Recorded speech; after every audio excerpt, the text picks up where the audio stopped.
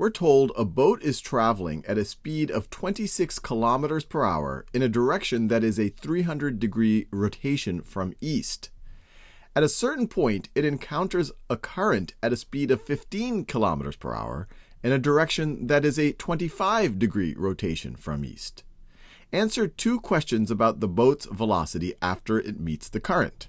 All right, the first question is what is the boat's speed after it meets the current, and it says round your answer to the nearest tenth. You can round intermediate values to the nearest hundredth.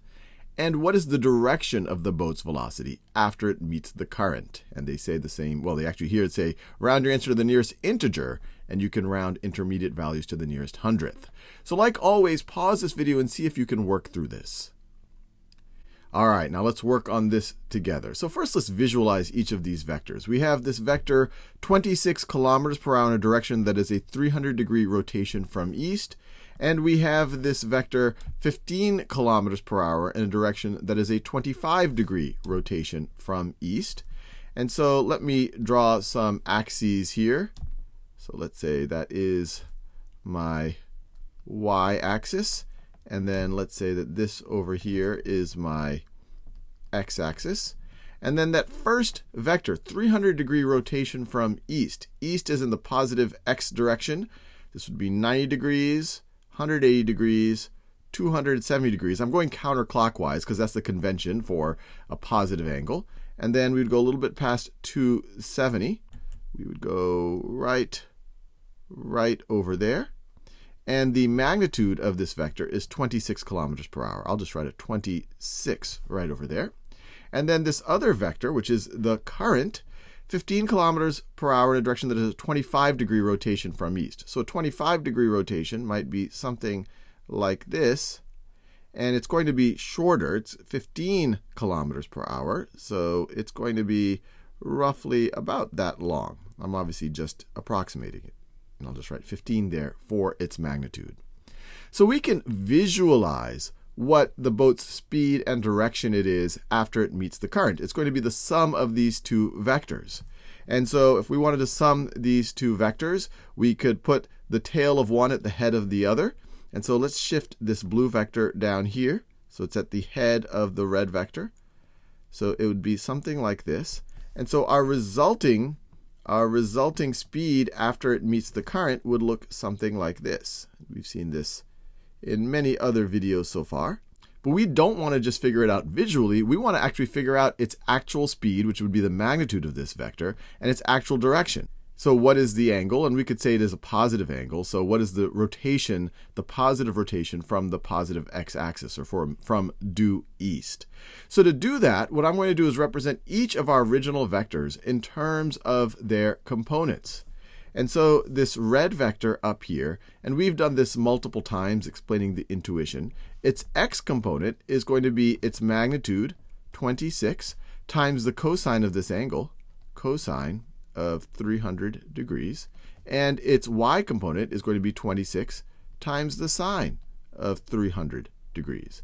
If that's unfamiliar to you, I encourage you to review it in other videos where we first introduce the notion of components. It comes straight out of our unit circle definition of trig functions. And similarly, this vector right over here, its x component is going to be its magnitude times the cosine of 25 degrees. And its y component is going to be 15 times the sine of 25 degrees. And now, when we have it expressed this way, if we want to have the resulting vector, let's call the resulting vector s for maybe the resulting speed, its components are going to be the sum of each of these. So we can write it over here. Vector s is going to be equal to it's going to be the x component of this red vector, of our original speed vector. So 26 cosine of 300 degrees, plus the x component of the current. So 15 times cosine of 25 degrees. And then the y components, once again, I add the corresponding y components. 26 sine of 300 degrees plus 15 sine of 25 degrees. And now we could use a calculator to figure out what these are, to say what these approximately are. So first, the x component, we're going to take the cosine of 300 degrees times 26 plus, I'll open up parentheses here, we're going to take the cosine of 25 degrees times 15, close our parentheses, and that is equal to 26.59 if I round to the nearest hundredth. 26.59. And now let's do the y component.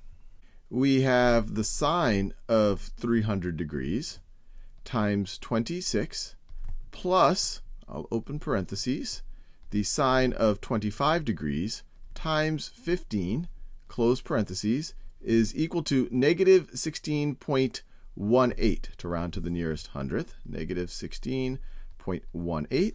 And let's just make sure that this makes intuitive sense. So 26.59, so we're going to go forward in this direction, 26.59 in the x direction. And then we go negative 16.18 in the y direction. So this does seem to match our intuition when we tried to look at this visually. So we now have the x and y components of the resulting vector, but that's not what they're asking for. They're asking for the speed, which would be the magnitude of this vector right over here. And so I could write the magnitude of that vector, which is going to be its speed. We just use the Pythagorean theorem here. It is going to be the square root of this squared plus this squared, because once again, this forms a right triangle here. And we review this in other videos. It's going to be the square root of 26.59 squared plus negative 16.18 squared, which is approximately equal to, they want us to round to the nearest tenth, 26.59 squared plus, and it doesn't matter that there's a negative here because I'm squaring it, so I'll just write 16.18 squared is equal to that. And then we want to take the square root of that. We get 31 point, if we round to the nearest tenth, 31.1. So it's approximately 31.1, and we'll write the units here. Kilometers per hour is the speed, the boat speed after it meets the current. And now the second question is what is the direction of the boat's velocity after it meets the current?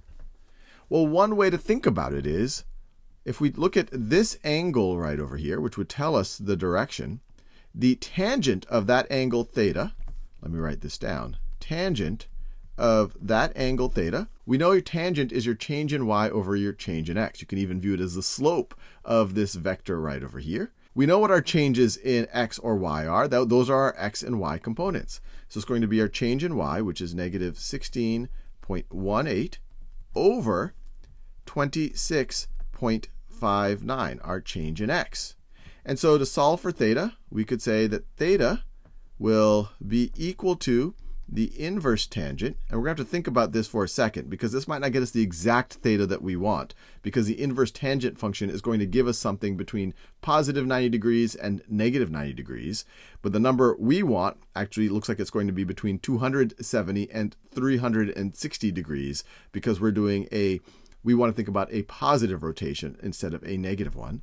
But let's just try to evaluate it. The inverse tan of this, of negative 16.18 over 26.59, 16.18 negative, divided by 26.59 is equal to this.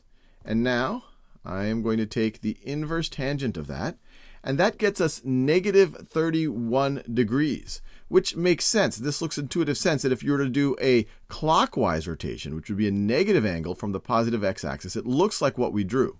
But let's just go with the convention of everything else here and let's try to have a positive angle. So what we can do is add 360 degrees to that to make a full rotation around and we essentially have the equivalent angle.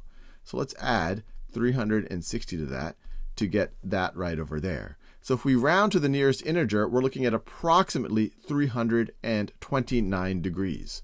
So theta is approximately 329 degrees. So here, when I said theta is equal to this, I could write theta, theta is going to be equal to this plus 360 degrees. Now, what's interesting is I was able to add 360 degrees to get to the exact same place. If we had a situation where our angle was actually this angle right over here, not the situation that we actually dealt with, but if it was in the second quadrant, we would have gotten this theta and we would have had to be able to realize that, hey, we're dealing with the second quadrant that has the same slope. So instead of adding 360 degrees, we would have added 180 degrees. And we've also covered that in other videos as well.